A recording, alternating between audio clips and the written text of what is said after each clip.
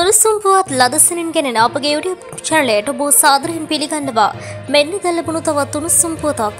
විදුලි බල මණ්ඩලය ප්‍රතිවගත කිරීමේ මාර්ග සිතීමට සහ යෝජිත කාලරාමුවට කැබිනට් මණ්ඩලය අනුමැතිය ඊයේ දිනේ ලැබී තිබෙනවා. ඒ අනුව මේ මාස අවසන් වන විට නව විදුලි පනත පාර්ලිමේන්තුවේ අනුමැතියට ඉදිරිපත් කරන බවයි වාර්තා වෙන්නේ.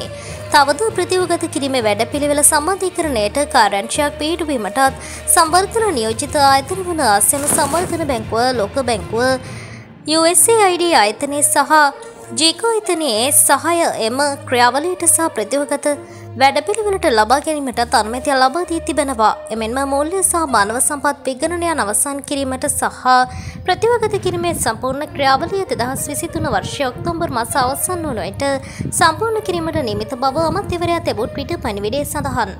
මෙවැනි විසූපත් ලද සනින් දැන ගැනීමට අපගේ YouTube චැනලය සබස්ක්‍රයිබ් කර බෙල් අයිකනය ක්‍රියාත්මක කරන්න.